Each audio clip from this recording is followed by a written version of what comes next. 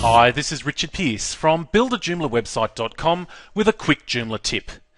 In Build a Joomla Website Lesson 9, I explain the function of modules and how to place these into a position. But what if you want a module to appear inside an article? Here's how to do this in Joomla 1.5. Log into Administrator and go to Extensions, Module Manager. Choose the module you want. In this case, I'll choose the Polls module. Click the module title to enter edit mode. Then click in the position box and type a position name that does not yet exist.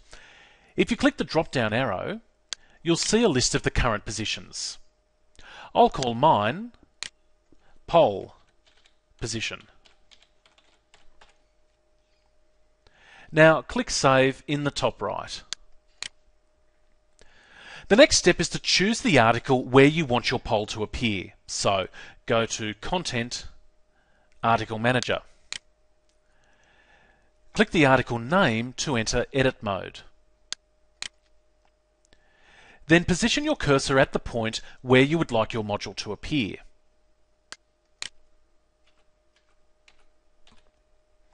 Now type this code. Open bracket, that's the curly bracket, load position, space, your position, close bracket, where your position is the name of the position you created earlier. So in my case, I enter load position, space, poll, dash, position, close bracket. Click Save, and go to the article on your front end and refresh to see the results.